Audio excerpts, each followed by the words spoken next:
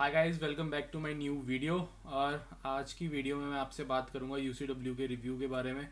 Students क्या review देते हैं यूसीडब्ल्यू के बारे में? प्रोफेसर्स के बारे में असाइनमेंट्स के बारे में और फ़ीस का क्या है हिसाब किताब?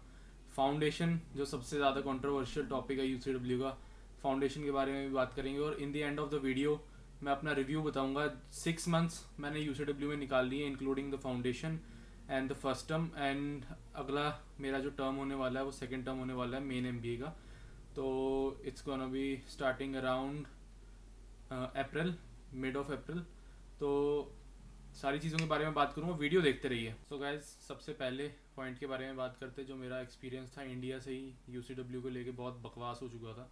अभी का जो है एट प्रेजेंट मेरा जो रिव्यू है, वो मैं आपको एंड में बताऊँगा। जो इंडिया में जब मैं था एनरोलमेंट नहीं हुआ था मेरा उस टाइम तो उस टाइम मेरा बहुत बकवास रिव्यू हो चुका था। मैंने इवन कि इनके गूगल माई बिज़नेस पे भी गंदा सा रिव्यू डाल दिया था।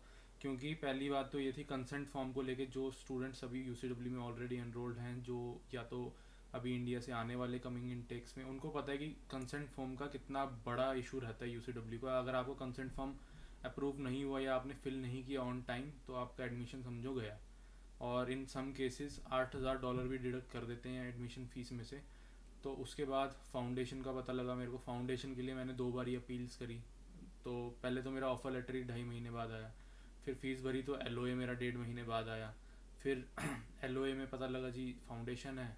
तो अपील करी तो दो महीने बाद अपील का रिजेक्शन आया। फिर दोबारा अपील करी तो फिर दो महीने बाद रिजेक्शन आया। तो मैंने थक हार के फाइनली मैंने फाउंडेशन के साथ में चला गया कनाडा और इस चक्कर में मेरा अराउंड एक साल बर्बाद हो गया। यू की इस इस, इन दो तीन चीज़ों की वजह से। हमारा दूसरा पॉइंट जो है, वो है फाउंडेशन से रिलेटेड फाउंडेशन का सबको पता है, जो बच्चे हैं ऑलरेडी इधर यूसीडब्ल्यू में, जो आने वाले हैं, उनको पता है कि फाउंडेशन कितनी बकवास चीज़ है। यूसीडब्ल्यू बेसिकली क्या करता है, जो जिनका वर्क एक्स है नहीं इतना एडिक्यूट नहीं है, जो दो तीन साल से नीचे का है, उनको दे देते हैं, जिनके अराउंड ग्रेजुएशन में नंबर कम है उनको दे देते हैं। तो मेरे ग्रेजुएशन में भी नंबर अच्छे थे। मेरा पाँच साल का वर्क एक्स भी था और एज अ टीम लीड समझ लो या एज अ मैनेजर समझ लो, वो अराउंड तीन साल का था मेरा लीडरशिप वाला जो एक्सपीरियंस था। तो उसके बाद भी मुझे फाउंडेशन दे दिया। और फाउंडेशन के साथ ये लोग क्या करते हैं? फाउंडेशन आठ हज़ार डॉलर का मिल गया आपको और चार हज़ार डॉलर का या तीन हज़ार डॉलर की आपको स्कॉलरशिप दे देंगे एज अ लड्डू। तो आप खुश हो जाओगे, भाई, ये तो दो तीन लाख तो मेरी स्कॉलरशिप में बच गई। फाउंडेशन में तो मेरे को पाँच लाख ही देना पड़ रहा है। तो एक्स्ट्रा कॉस्ट तो दो लाख के आसपास आई तो कोई बात नहीं, मैं चला जाता हूँ। आप यहाँ पे आते हो, आपको पता लगता है कि आपको अबव एटी रखने हैं अराउंड थ्री कंजेक्टिव टर्म्स में। उसके बाद आपको अपना ये स्टार्ट होएगी स्कॉलरशिप मिलनी, वो भी टर्म बाय टर्म मिलेगी। तो कभी कभार तो बच्चों को पता ही नहीं होता ये चीज़। तो आप ये लेकर चलोगे स्कॉलरशिप आपकी अगर किसी भी एक सब्जेक्ट में कम हो गया, अस्सी से नंबर तो आपको गई स्कॉलरशिप और फाउंडेशन का तो मेरे को समझ नहीं आता क्या ये सिर्फ़ यू कर रहा है पूरे कनाडा में और कोई यूनिवर्सिटी नहीं कर रही और इनसे अगर पूछो तो बोलते हैं कि भाई बहुत कॉस्ट इफ़ेक्टिव है, हमारा M B A R Y बहुत है इसमें। तो यार और भी यूनिवर्सिटीज़ हैं जो तीस, पैंतीस हज़ार डॉलर में आपको एम बी ए करवा रही हैं। बट कोई ऐसा फाउंडेशन वाला स्कीम नहीं है उसमें। सो गाइस हम आ जाते हैं अपने थर्ड पॉइंट पे, जो कि है इनका वीज़ा सक्सेस रेट सुनने को मेरे को इंडिया में भी यही मिला था अपने कंसल्टेंट से और इवन कि यहाँ पे जो स्टूडेंट्स है और है भी ऐसा कि वीज़ा जो सक्सेस रेट है यूसीडब्ल्यू का, वो बहुत ही ज़्यादा अच्छा है। मेरे दो रिफ्यूज़ल आए हुए थे ऑलरेडी मेरा थर्ड अटैम्प्ट में अप्रूवल आ गया। मेरे क्लासमेट्स ऐसे हैं जिनका छः छः बार रिफ्यूज़ल आए हैं और सातवीं, आठवीं अटैम्प्ट में अप्रूवल आ गए यू की वजह से।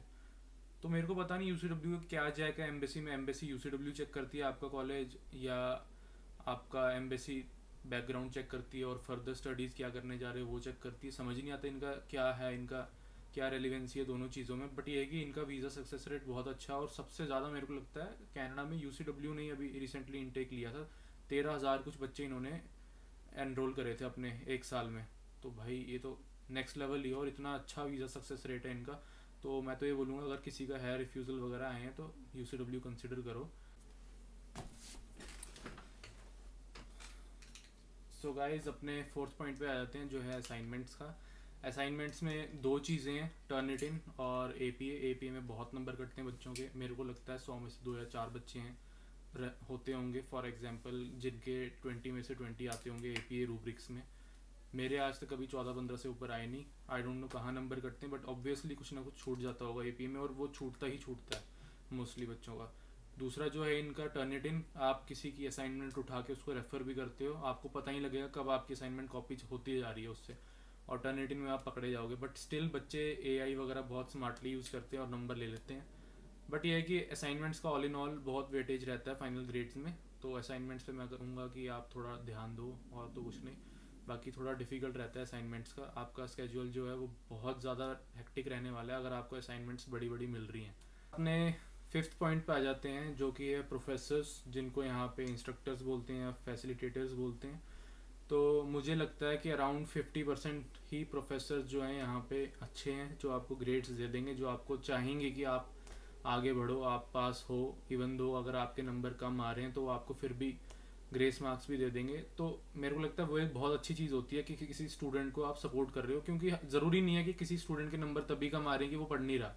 कभी कभार ऐसा होता है कि उसकी असाइनमेंट में वो अनोइंगली कुछ एरर कर चुका होता है या कुछ हो जाता है तो उसके नंबर कम आ जाते हैं। तो वो चीज़ें ठीक है बट बहुत प्रोफेसर्स यूनिवर्सिटी में ऐसे हैं जो बहुत रूढ़ीवादी हैं, जो बहुत रिग्रेसिव हैं, जो चेंज नहीं करना चाहते अपना सिस्टम और जो यूनिवर्सिटी ने जो बनाया हुआ है स्ट्रक्चर कोर्स को लेके, वो रिवर्स कर देंगे।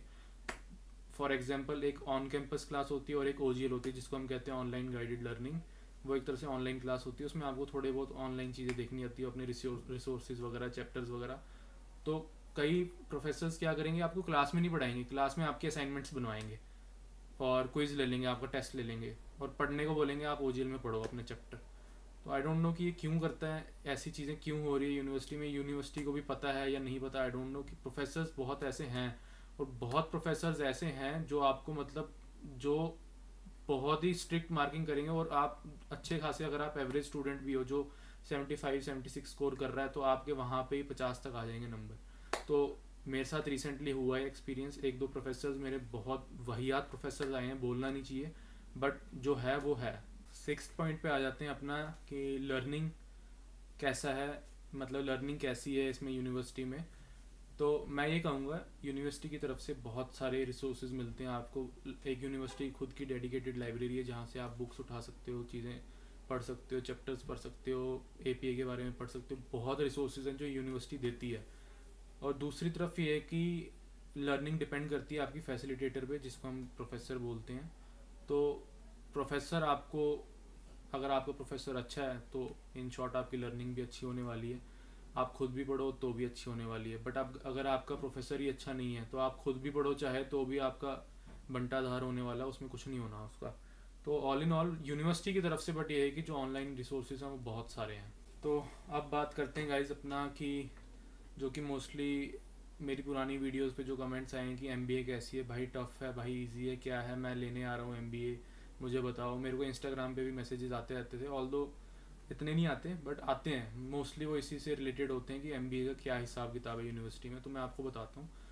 आप एमबीए करने आ रहे हो तो आप समझ लो मास्टर्स करने आ रहे हो तो I guess around five points extra अगर आप एक्सप्रेस एंट्री में अपनी फ़ाइल लगा रहे हो तो उसमें आपको पाँच पॉइंट एक्स्ट्रा मिलेंगे क्योंकि आप मास्टर्स कर रहे हो एमबीए का। तो M B A in short difficult है। चाहे वो आप इस यूनिवर्सिटी में देख लो, चाहे किसी और में देख लो डिफ़िकल्ट तो रहेगी क्योंकि एम बी ए थोड़ा प्रोफेशनल कोर्स में आता है।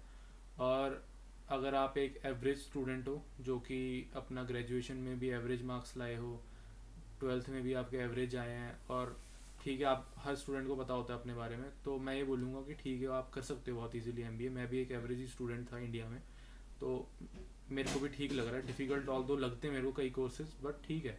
एमबीए कर रहा हूँ तो मेरे को एक्सपेक्ट करना चाहिए कि थोड़ा डिफ़िकल्टीज आएँगी।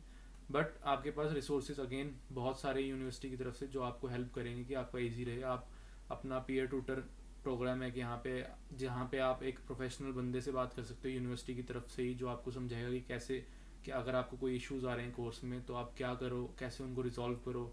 या किसी और चीज़ में भी अगर आपको in in your personal life भी अगर कोई इशू है, आपका कोई प्रॉब्लम है तो भी आपको स्टूडेंट एडवाइज़र हैं, यहाँ पे एकेडमिक एडवाइज़र्स हैं। बहुत सारी टीम्स हैं जो आपको हेल्प करने के लिए आगे हैं। तो ऑल इन ऑल अच्छा है उस पॉइंट ऑफ़ व्यू से भी और एमबीए ठीक है। तो अब हम बात करते हैं फ़ीस का। फ़ीस रिसेंटली बहुत हाइक हुई है क्योंकि जब से इंटरनेशनल स्टूडेंट कैपिंग इंट्रोड्यूस हुई है around thirty thirty five percent reduction हो गई है इनटेक्स में। तो यूनिवर्सिटीज़ अब आई डोंट नो कि सारी यूनिवर्सिटीज़ कर रही हैं यू कर रहा है कि यू ने अभी तक दूसरी बारी फ़ीस अपनी बढ़ा ली आई गेस दूसरी बारी ही है, शायद पहले भी बढ़ाई थी इन्होंने कुछ। तो अभी क्या है कि मैं एक साल की फ़ीस पे करके आया था including the first semester first term of foundation second term of main MB and third term of main M अब मैं थर्ड टर्म में अपना एनरोल करने वाला हूँ, आने वाले हफ़्ते दस दिन में। और मेरे को around eight twenty eight dollar short हो रखे हैं। तो तीन टर्म्स अपने इंक्लूडेड होते हैं फ़र्स्ट ईयर की फ़ीस में बट देखा जाए तो मेरे को अराउंड अप्रॉक्स हज़ार डॉलर कम पड़ रहा है। तो गाइज़ एक लास्ट पॉइंट कवर कर लेते हैं। मैं भूल गया था इसके बारे में। तो ये है बैकलॉग्स के बारे में। अगर आपके बैकलॉग्स बहुत हैं ग्रेजुएशन में तो भी यूनिवर्सिटी आपको बहुत ईजिली एडमिशन दे देगी।